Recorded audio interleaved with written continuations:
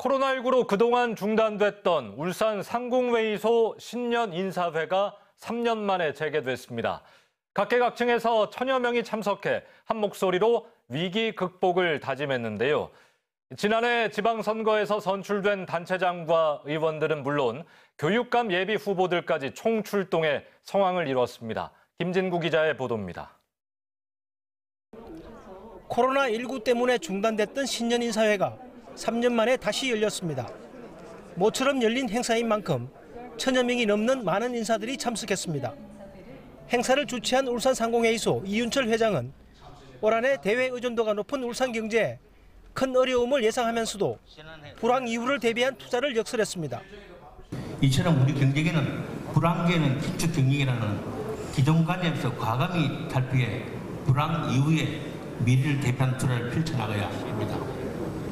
또한 노사는 상생과 협력으로 위기 극복에 앞장서 나가야 하겠습니다. 김두겸 시장은 나라 경제와는 별개로 울산은 4대 주력 산업을 중심으로 역대급 투자 유치와 일자리 창출이 이어지고 있다며 강한 자신감을 드러냈습니다. 이와 함께 지난해 13조 원의 역대 최대 투자 유치에 성공한 데 이어 현재도 12조 원 규모의 기업 투자 의향을 받아놓고 있다고 공개했습니다.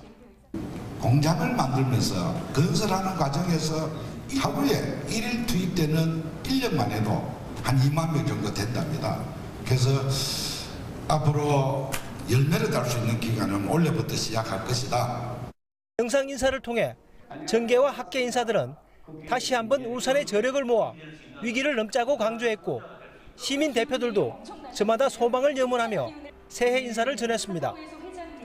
오랜만에 오프라인으로 열린 행사에는 지난해 지방선거 이후 새로 선출된 단체장과 시군구 의원들이 대거 참석했고 오는 4월 5일 울산시 교육감 보궐선거를 앞두고 예비 후보군들도 얼굴 할리기에 적극 나섰습니다. UBC 뉴스 김진구입니다.